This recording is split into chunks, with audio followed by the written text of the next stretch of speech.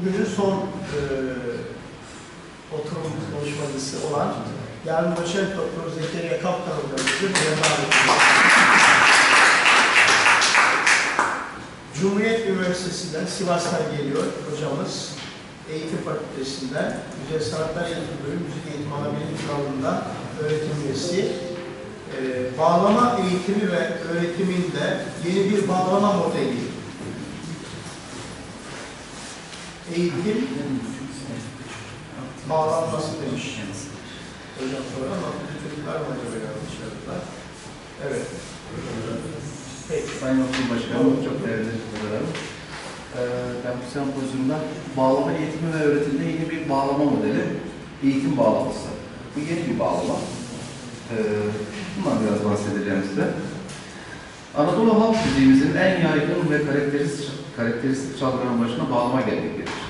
Zengin bir tarih ve kültürel bir birikime sahip Anadolu insanı, duygularını, düşüncelerini ifade etmekte, yüzyıllardır bağlamayı birinci bir çalgı olarak görmüşlerdir. Bağlama milli unsurları bünyesinde barındıran Anadolu halk müziğinin temel çalgılarından biridir, tektir, yeganedir. Bu yönüyle bağlama Anadolu halk müziğini anlamada ve anlatmada ana göstergelerden biri olmuştur. Uzun bir süre geleneksel bir yöntem olan usta-çırak ilişkisiyle eğitimi ve öğretimi yapılan bağlamanın zamanla mesleki müzik eğitimi veren kurumlara girmesiyle daha bilimsel, akademik ve metodolojik bir eğitim öğretim sürecine girdiği görülmektedir. Bugün gelinen noktada Türk Müziği Devlet Konservatuarları ile birlikte müzik eğitimi ana bilim dalları, güzel sanatlar fakülteleri ve liselerinin tamamında bağlama eğitim ve öğretimi yapılmaktadır.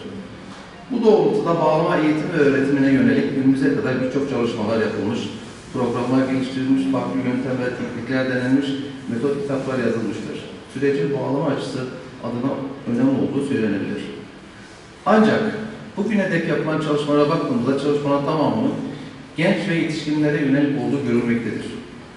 Müzik eğitimi ve müzik eğitiminin en temel, en önemli boyutlarından biri olan çalgı eğitiminin daha çocukluk döneminde başlaması gerektiği dönemini bir kez daha düşündüğümüzde bağlama eğitimi ve öğretimi ile ilgili çocukluk dönemine yani 7-12 yaş e, dönemine yönelik henüz bir çalışmanın yaklaşımın olmadığını görmekteyiz.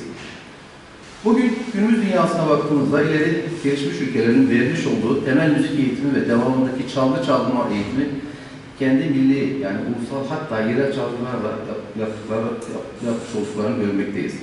Bu bağlamda Anadolu coğrafyası ve müziğinin birinci çalgısı bağlamadır. Ancak ne yazık ki temel müzik eğitimi özellikle de çocukluk döneminde çalgı çalma, çalma eğitiminde bağlama halen verimli ve etkin bir şekilde kullanılmamaktadır. Bunun nedenleri öncelikli olarak şöyle sıraladık. Ee, bağlama boyutlarının e, çocuğun fiziki yani beden kol parmak yapısına uygun olmayışı. Ee, bunları açacağım e, ilerleyen zamanlarda. Ee, notalama akort sisteminin uluslararası yani uluslararası standartlara genel geçer olmayışı. Perde sisteminin temel müzik eğitimi için uluslararası olmayışı. Ee, ne tür bir bağlama ile eğitime başlanacağı net olmayıştır. Yani uzun kol bağlama, kısa kol bağlama şeklinde. Evet, bağlama boyutlarına geçelim. Ülkemizde yapılan yani üretilen bağlamaların geleneksel anlayışta daha çok yaygın olarak 40-45 cm arası tekne ölçüleri kullanarak yapıldığını görmekteyiz. Bu boyutlar çocuğun fiziki yapısına uygun değildir. Oysa birçok ülke bu sorunu şöyle çözmüştür. Kendi çalgılarının boyutlarını küçülterek, küçülterek çocuğa uygun hale getirmiştir. Mesela junior gitar, çeyrek keman, çeyrek cello, çeyrek piyano gibi. Notalama sistemi yani akor sistemi bağlama çalgısının en temel sorunudur. Yazılan ses ile icra edilen ses birbirinden farklıdır. Şöyle ki bağlamanın karar yani eksen sesi si veya do, do diyeze sesine akord edil- edilir. Fakat halk müziği notalarımızın büyük bir oranla la karar eksen sesinde yazılmıştır. Bu, bu durum e, bağlamanın temel müzik eğitimi içerisinde yer alamaması için büyük bir engel olarak düşünülebilir. Perde sistemi Bağlama çalgısı üzerindeki mikrotonal perdeler temel müzik eğitimi çok gerekli değildir. Temel müzik eğitiminde öncelikli olarak çocuğun temel tam sesleri, perdeleri doğru frekansla öğrenmesi gerekir. Bunun için eğitim bağlamasında 12 perde ses listesi kullanılmıştır. Bu ses uluslararası standart e, seslerden oluşan tam perde eşit aralıklı ses sistemidir. E, Burada hedeflemek istenilen durum çocuğa uluslararası doğal sesleri işitme yoluyla öğretmek ve uluslararası bir müzik eğitimin sağlamaktadır. Peki ne tür bir bağlamayla başlayacağız? Ülkemize yaygın olarak e, az önce de bahsettik. iki tür bağlama üretimi yapılmaktadır. Bunlar uzun kol bağlama ve kısa kol bağlamadır. Bu durum iki tür öğrenme biçimini de beraberinde getirmektedir. Uzun kol bağlama için yatay öğrenme, kısa kol bağlama için dikey öğrenme. Ee, burada akla gelen soru şudur ki, çocuğa çalgı öğretiminde kolay ve hızlı öğrenebilmesinde ne tür bir öğrenme biçimi tercih edilmelidir? Ee, bu gerekçeler doğrultusunda eğitim bağlamasıyla bağlamanın boyutu çocuğu, e, çocuğa uygun hale getirilmiştir. Birazdan göreceğiz fotoğraflarını. Notalama akut sistemi uluslararası e, hale getirilmiştir. Standart hale getirilmiştir. Perde sistemi sadeleştirilmiş, daha anlaşılır, açık hale getirilmiştir. Daha kolay kavrayabileceği yatay öğrenme e, biçimi tercih edilmiştir. Evet, eğitim bağlaması. Eğitim bağlaması 7-12 yaş çocuklar için düşünmüş, tasarlanmış ve üretilmiş yeni bir bağlama modelidir. Eğitim bağlaması her şeyden önce çocukların fiziksel yapılarına uygun tasarlanmış ve üretilmiştir. Bağlamanın tasarı aşamasında uzun bir süre çocuklar üzerinde denemeler yapılarak bağlamanın yapısına yeni ölçüler, boyutlar getirilmiştir. Bu ölçüler e, öncelikle bağlamanın tekne boyu, derinliği, çapı ve sap boyunda gerçekleştirilmiş olup çocuğun rahat tutuşu sağlanmış ve e, sap klavye üzerinde kolay rahat hareket edebilmesi hedeflenmiştir. Sonuç olarak gelinen noktada bağlamanın teknik oranları değiştirilmeden form biçim yani tekne boyu, bütün saz boyu, sap ve tel boyu tamamıyla değiştirilmiş olup çocuğun fiziksel yapısına uygun hale getirilmiştir. Eğitim bağlaması e, tek sesli oktavdan oluşmak, 8 oktav, yani oktavdan oluşmaktadır. Bu 8 la dizisidir. E, bu dizi uluslararası 440 frekansındaki la sesinden başlar. Eğitim bağlamasının perde sistemi uluslararası standart e, seslerden oluşan tampere yani eşit taraflı ses sistemidir. Evet, eğitim bağlamasının alt perdeli frekanslarını görüyoruz burada. E, boş tel e, gördüğünüz gibi 440 la sesinden başlıyor. E, ana perdelere e, perde sarma e, yöntemiyle 5 sarı, ara perdeleri 3 sarı olarak e, düşündük. Alt tel e, 0.18, orta tel 0.28, üst tel 0.22 kalibrelerinde yapıldı. Eğitim bağlaması ikişerli 3, 3 sıra telden oluşmaktadır. En alt tel 440 la frekansına la sesine akort edilir. Bu durum halk müziğimizdeki yazılan ses ile icra e, ses arasındaki tutarsızlığı farklılığı ortadan kaldırmaktadır. Bağlamadaki orta tel geleneksel bağlama icrası göz önüne alarak icrada eşlik üretimi için den tel olarak düşünülmüştür. En üst tel ise yine halk müziğimizin müziğimizdeki geleneksel çok seslilik yapısı göz önüne alarak tam beşli sesine akort edilmektedir. Evet, eğitim bağlamasının akordu düzeni bu şekilde. Alt tel la frekanslarıyla birlikte orta tel yine la dem sesi, üst tel mi. Bu eğitim bağlamasının ölçüleri bunlar e, sevgili hocalarım, çok değerli hocalarım. Bunu e, tam metinde daha net görebiliriz. Burada tam görünmüyor. Evet, şimdi fotoğraflarını görelim. Evet, bağlamamız bu. Çocuklar için tasarlanmış, 7-12 yaş çocuklar için tasarlanmış bir bağlama e, modeli.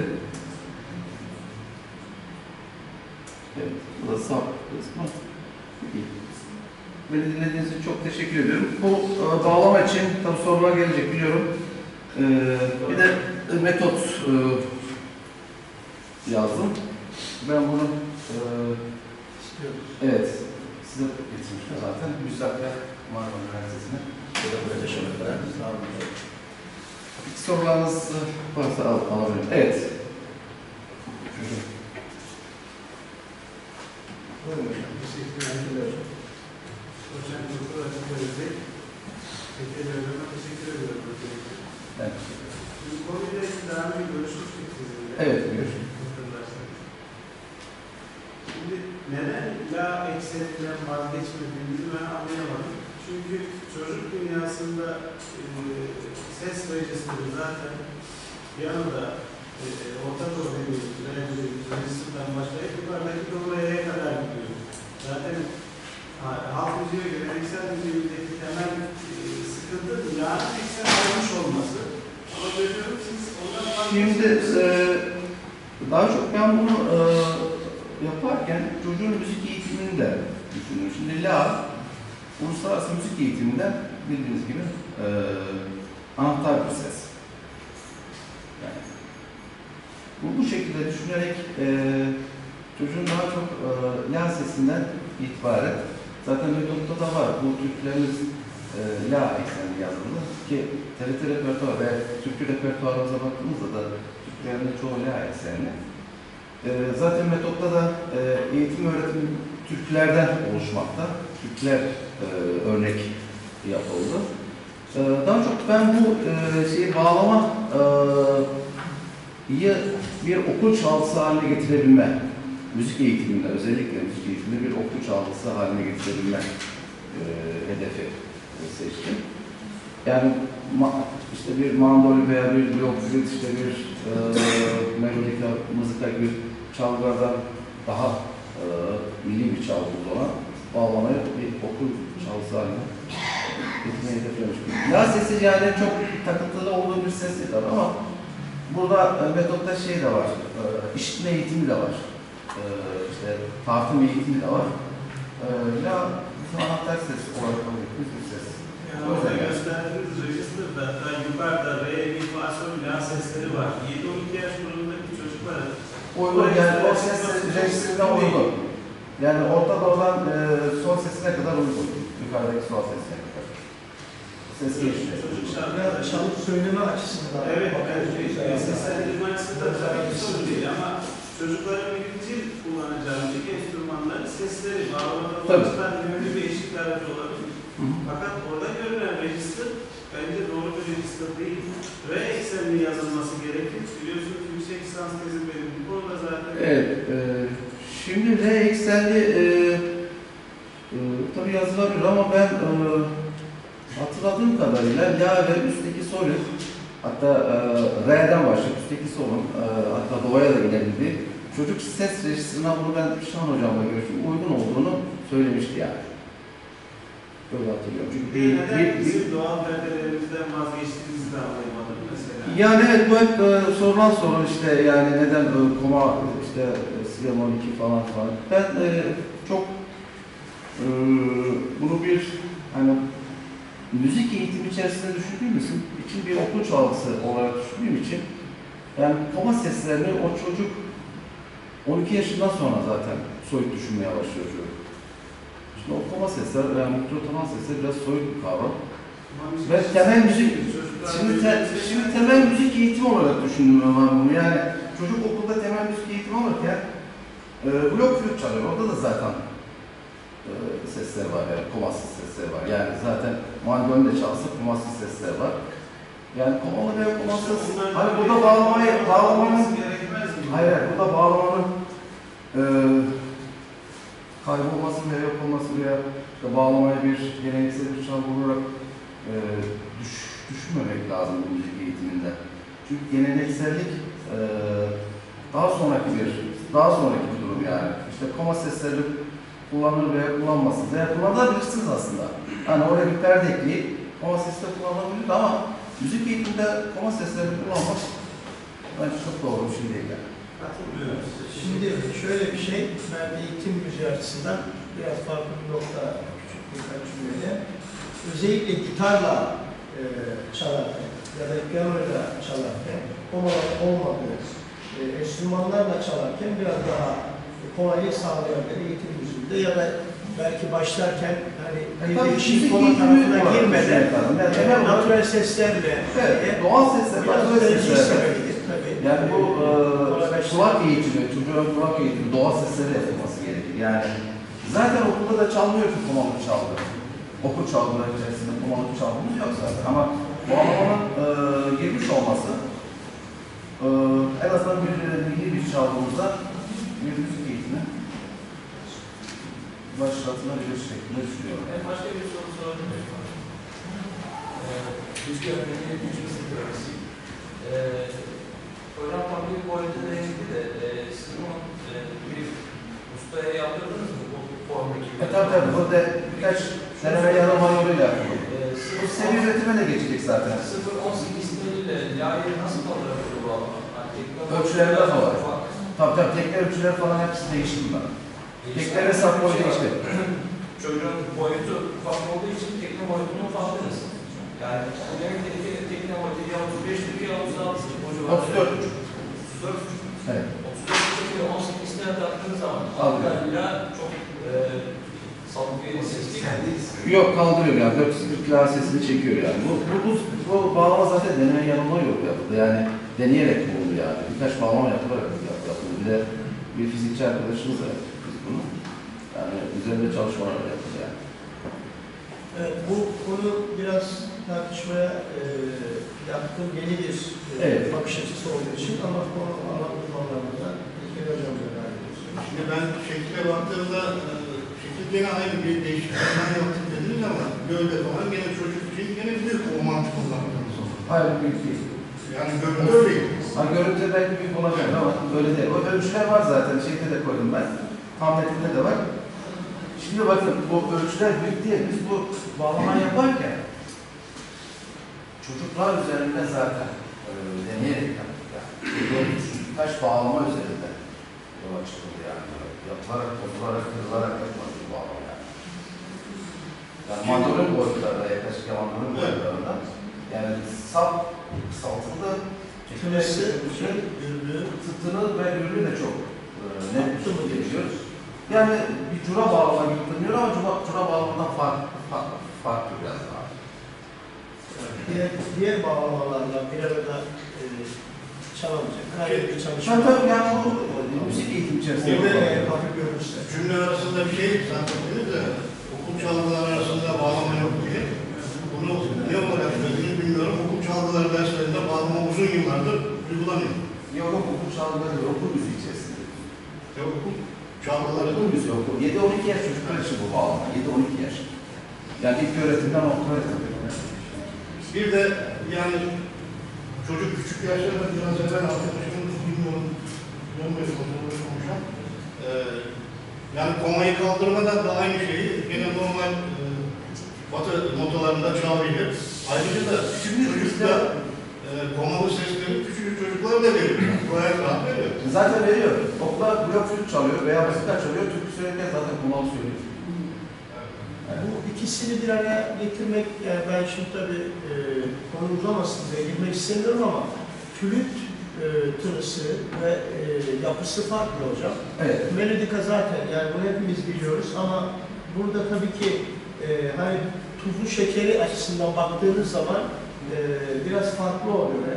Bizler de bağlamayı normal standartlarda çaldık ve kulağımızda zorlanmadı ya da ileriki zamanlarda e, koması olarak da e, o tonlara, dizilere girdiğimizde onun ayrımını yapabiliyoruz. Evet. Ee, bu noktada gerçekten deneysel çalışmalarımız veya e, uzun süreli yaptığımız e, bir kabul görecek bir çalışma ise bunu zaman gösterecek. Yani evet, bu zaten burada bu sorularımız var. çalışmanız da var ama repertuar olarak dar olarak çok dikkat edilmesi lazım. Evet. Yani türküyü, o türküyü o e, türkülükten çıkarmadan, e, kendi özelliğinden ya da yeni şeyler yazmak gerekebilir. Yani yeni şeyler de var. Daha çok Söyler. Yani bunu da öğretmek istemiyorum. Yıllardır duyduk. Dersen yola çıkmak daha yani yeni yazılı şeyler de var. Var, ama var, repertuarlar var tabii ki.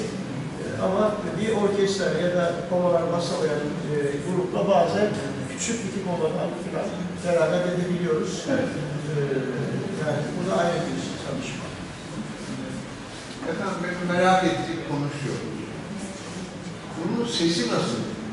Yani, Yani gitar mı? ya şimdi ben onu e, uçakla gelirken gitar getirdim de çok e, çanta olunca e, yanıma alamadım. Bağlamayı aslında getirmeyi istedim. Mandolin mi? Yani hangisi? Hayır mandolin değil, cura da değil. Ee, biraz cura ve tambura bağlama arasında bir ses. Zaten bam teli kullanmadığımız için curaya yakın bir ses.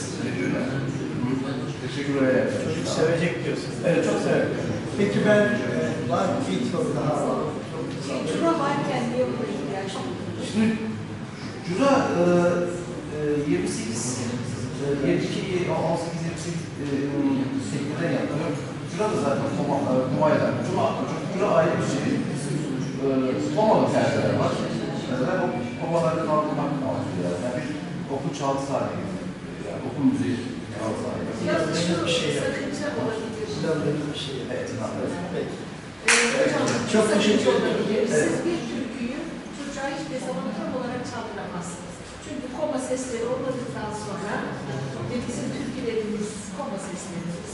Yani çocuk hiçbir zaman bir türküyü gerçek olarak seslendiremiyor. Bunu seslendiriyoruz. Komalara inmeyi seviyoruz. evet, ben çok teşekkür ediyorum hocamıza.